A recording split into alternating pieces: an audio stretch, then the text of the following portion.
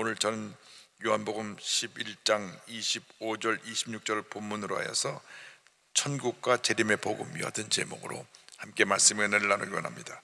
제목을 한번 따라해 주시기 바랍니다. 천국과 재림의 복음. 천국과 재림의 복음. 이 생을 태어나 사는 사람들이 누구도 예외 없이 피할 수 없는 것이 죽음이라고 하는 것입니다. 죽음은 누구에게나 예고 없이 다가옵니다. 근데 중요한 것은 죽음이 끝이 아니라고 하는 것입니다. 죽음 이후에 영원한 세계가 우리를 기다리고 있습니다. 예수를 믿고 구원받은 우리들은 영생 천국에 들어가게 되고 예수를 믿지 않고 죄 가운데 살던 사람들은 죽는 그 순간 영원한 지옥 불못에 떨어지게 되는 것입니다. 그래서 우리는 언제나 주님 앞에 우리 주님이 인정하시는 그런 바른 신앙생활을 함으로 우리 주님 앞에 설 때에 잘했도다 착하고 충성된 종아 칭찬받는 주님의 귀한 일꾼들이 다 되어야 할 것입니다. 먼저 성경 우리가 말씀하고 있는 죽음과 부활에 대해서 함께 생각해 보기 원합니다. 죽음은 끝이 아니라 영원한 세계에서의 시작입니다. 그래서 성경은 죽는 것을 가리켜서 잠잔다고 말하고 있습니다. 잠잔다고 하는 것은 다시 곧 깨어난다는 것을 의미합니다. 사도 바울이 대사로니까 그의 편지를 보내면서 이렇게 이야기합니다. 대사로니까 전서 4장 13절 14절입니다. 형제들아 자는 자들에 관하여는 너희가 알지 못함을 우리가 원하지 아니하노니 이는 소망이 없는 다른 이와 같이 슬퍼하지 않게 하려 함이라 우리가 예수께서 죽으셨다가 다시 살아나심을 믿을진데 이와 같이 예수 안에서 자는 자들도 하나님이 그와 함께 데리고 오시리라 사도 바울은 죽은 자들을 자는 자들이라고 표현하고 있고 예수님 재림의 때에 하나님께서 예수님과 이 잠자는 자, 죽은 자들을 다 데리고 오시겠다고 말씀하고 있습니다. 죽음이라고 하는 것은 잠시 이 땅에 나그네 길에 사는 우리들이 육신을 이 땅에 남겨두고 영이 천국으로 가는 것을 말합니다. 죽음은 영과 육의 분리입니다. 그래서 죽는 그 순간 육신은 이 땅에서 잠을 자게 되고 영은 천국에 올라와 주님 품에 안겨 주님을 찬양하게 되는 것입니다.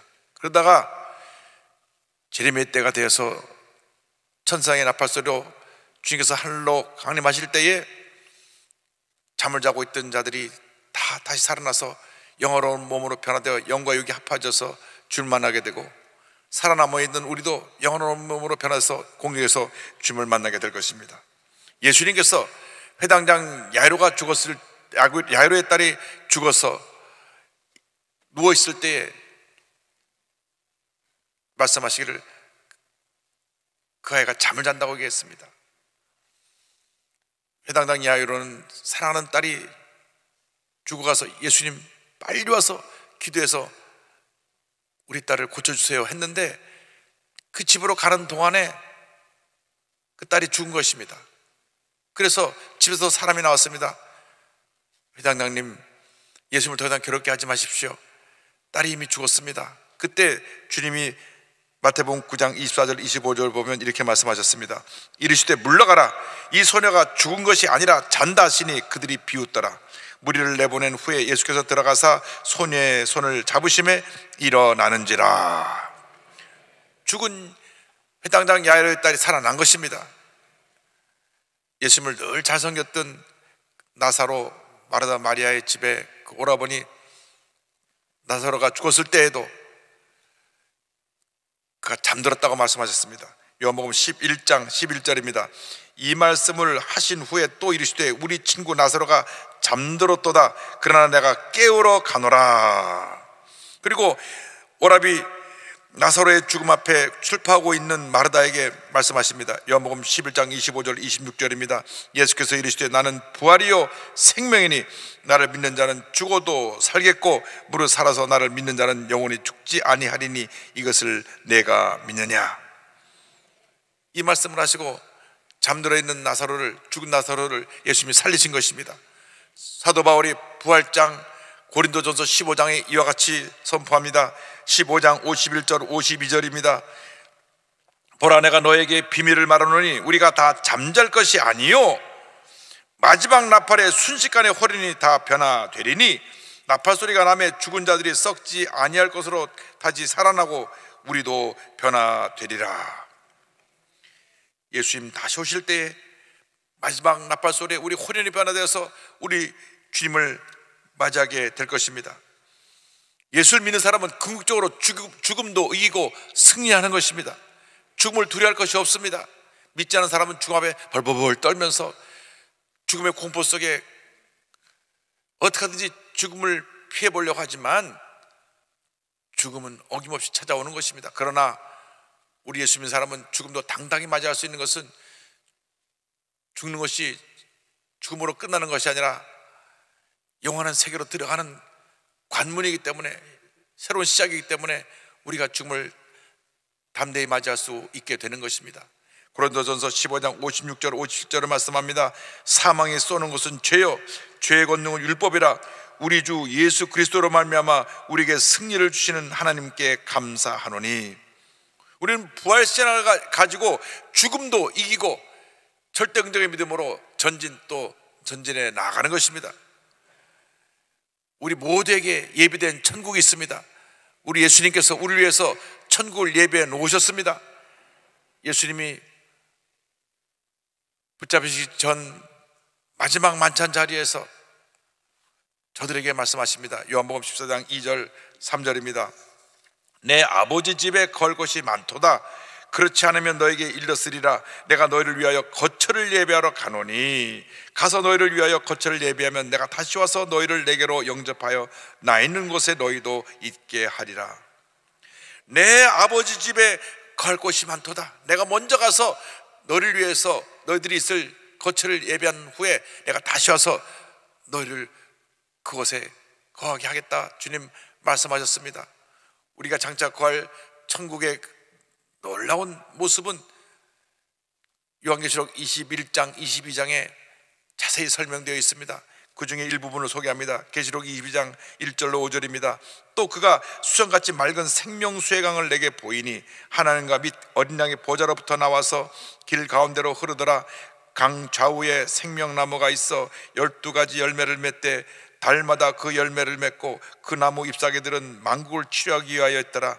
다시 저주가 없으며 하나님과 그 어린 양의 보좌가 그 가운데 있으리니 그의 종들이 그를 섬기며 그의 얼굴을 볼 터이요 그의 이름도 그들의 이마에 있으리라. 다시 밤이 없겠고 등불과 햇빛이 쓸데없으니 이는 주 하나님이 그들에게 빛이심이라 그들이 세세토록 왕노릇하리로다. 장차 우리는 앞서거니 뒤서거니 저 천국에 가게 될 것입니다. 하늘나라 가서 주님께서 기쁨으로 맞이하시는 우리의 그 놀라운 은혜 자리에 가게 될 것이고 우리 머리에 멸류관을 씌워주시고 영원토록 왕노릇하게 해 주실 것입니다. 주님께서 우리를 천국에 데려가시기 위해서 다시 오십니다. 언제 다시 오시느냐? 그 날과 그 시는 알 수 없지만 그때는 우리가 짐작할 수가 있습니다. 마태복음 24장 14절에 그 때에 대해서 이렇게 설명합니다. 이 천국 복음이 모든 민족에게 증언되기 위하여 온 세상에 전파되리니 그제야 끝이 오리라. 30절입니다. 그때 인자의 징조가 하늘에서 보이겠고 그때 땅의 모든 족수들이 통곡하며 그들이 인자가 구름을 타고 능력과 큰 영광으로 오는 것을 보리라. 할렐루야. 주님 오실 그날을 고대하면서 우리 모두가 힘써 주의 복음을 전하는 복음의 증인이 되어야 합니다. 땅까지 이르러 복음이 증거된 후에 우리 주님 다시 오실 것입니다 주님 오실 날 멀지 않았습니다. 확실히 믿기는 저 휴전선도 무너지고 북한전에게 복음이 증거되어서 해방 전에 북한에 있었던 3,500개 교회가 다시 복원되고 북한의 놀라운 봉역사가 일어나고 난 후에 우리 주님 다시 오실 것입니다. 분명히 우리 주님 다시 오십니다. 성경 약속대로 주님 다시 오시는 것입니다. 예수님의 재림에 대해서 성경 곳곳에서 말씀하고 있습니다. 예수님께서 승천하실 때 그들 곁에 섰던 천사들이 이와 같이 말했습니다. 사도행전 1장 11절입니다. 이르되 갈릴리 사람들아 어찌하여 서서 하늘을 쳐다보느냐 너희 가운데서 하늘로 올려주신 이 예수는 하늘로 가심을 본 그대로 오시리라 하였느니라. 주님 다시 오실 때 우리 모두가 공중에서 주님을 맞이하게 될 것입니다. 대전가 전서 4장 16절 17절입니다. 주께서 호령과 천사장의 소리와 하나님의 나팔 소리로 친히 하늘로부터 강림하시리니 그리스도 안에서 죽은 자들이 먼저 일어나고 그 후에 우리 살아남은 자들도 그들과 함께 구름 속으로 끌어올려 공중에서 주를 영접하게 하시리니 그리하여 우리가 항상 주와 함께 있으리라. 예수님 다시 오실 때 죽은 자들이 먼저 일어나서 공중으로 올라가게 되고 우리는 변화된 몸으로 공중으로 올라가서 주님을 맞이하게 될 것입니다. 우리가 이 세상에서 천년만년 살고 지고 영원히 사는 것이 아닙니다. 이 세상은 나그네 길입니다. 잠시 지나가는 기차 정거장에 불과한 것입니다. 히브리서 11장 13절 14절을 말씀합니다. 이 사람들은 다 믿음을 따라 죽었으며 약속을 받지 못하였으되 그것들을 멀리서 보고 환영하며 또 땅에서는 외국인과 나그네임을 증언하였으니 그들이 이같이 말하는 것은 자기들이 본향 타는 자임을 나타내미라. 모든 믿음의 조상들이 그들의 영적인 본향 천국을 바라보고 이 땅에 나가는 인생 살면서 열심히 주님의 일을 했습니다. 내 평생 소원 이것뿐 주님을 하다가 이 세상 이별 하는 날 주 앞에 가리라 찬송의 내용처럼 열심히 주님을 하다가 중에서 오라 부르실 때 그들의 본향 천국에 가서 기쁨으로 주님을 많이 맞이했던 것입니다. 그래서 초대교회 모든 성도들의 인사는 주님 다시 없어서 마라나타였습니다. 마라나타 주님 오시옵소서 주님 오시옵소서 주여 속히 다시 오셔서 우리가 기쁨으로 주님을 맞이하게 하여 주시옵소서 사도 바울이 얼마나 주님 오심을 사모했는지 우리 살아남은 자들이 주님을 볼 것이다까지 고백을 했습니다. 고린도전서 16장 22절에 이와 같이 사도 바울이 고백합니다. 만일 누구든지 주를 사랑하지 아니하면 저주를 받을지어다. 우리 주여 오시옵소서. 마르나타. 계시록 20장 20절입니다. 이것들을 증언하시니가 이르시되 내가 진실로 속히 오리라 하시거늘 아멘 주 예수여 오시옵소서. 아멘 주 예수여 오시옵소서 아멘 주 예수여 오시옵소서 주님 오실 날 멀지 않은 이때 우리가 정신 차리고 영적으로 끼어서 힘써 주님을 하고 힘써 맡겨진 사명 잘 감당하여 하나님께 영광 돌리고 하늘에 큰 상금을 쌓는 주님의 귀한 일꾼들이 다 되기를 바랍니다 길선주 목사님은 그 일제 시대 그 힘들고 어려웠던 고난의 시대를 다시 오실 예수님을 선포하며 재림 신앙으로 온 그리스도인들에게 꿈과 희망을 주었습니다. 요한계시록을 만독을 했다고 하는, 하는 기록이 있습니다. 요한계시록을 달달달달 다 외우셔서 가는 곳마다 천국과 재리의 복음을 선포하시고 일제 탄압 속에 고통당하는 자들에게 꿈과 희망을 주었습니다. 손영한 목사님도 힘들고 어려울 때 다시 오실 주님을 바라보면서 그분이 지은 주님 고대가를 불렀습니다. 낮에나 밤에나 눈물 머금고 내 주님 오시기만 고대합니다. 가실 때 다시 오마 하신 예수님 오 주여 언제나 오시렵니까? 찬양을 불렀습니다. 한국의 무디로 불렸던 이성봉 목사님은 밤에 자다가 옆집 방앗간 소리만 찌는 소, 방앗 찌는 소리만 나도 주님 오시지 않나 벌떡 일어나서 하늘을 바라보았다고 합니다. 평소에도 재림 설교를 많이 하셨는데 그 재림 설교의 주요한 내용이 이어갔습니다. 공중에 재림하시는 그리스도를 맞이하기 위해서는 깨어 준비하고 띠를 띠고 준비하고 등불 말씀을 준비하고 기름 성령을 준비하고 성결한 신자가 되는 것이다. 무엇보다 신앙 신랑 되신 그리스도를 맞이하기 위해서는 순결한 신부가 되어야 한다. 그는 선포하셨습니다. 6.25 당시 공산당에 검거되어 고초를 당하시며 감옥에 던져졌을 때 공산 청년 10여 명이 몽둥이를 들고 얼마나 때렸든지 생피를 토했다고 합니다. 그래도 하나님 앞에 감사하니까 내가 천당을 받느냐 물어봤습니다. 그때 목사님 대답하셨습니다. 아직 천당 본점은 보지 못하였지만 지점은 보았다. 내 마음속에 있는 기쁨은 하나님의 나라의 기쁨의 모형이다. 그리고 지점이 있으면 본점이 있는 것을 알 수 있듯이 하나님이 주시는 마음의 평안을 알면 영원한 하나님 나라의 모습을 알 수 있다. 얼마나 고문을 심하게 받으셨든지 해방이 된 후 이후 몸에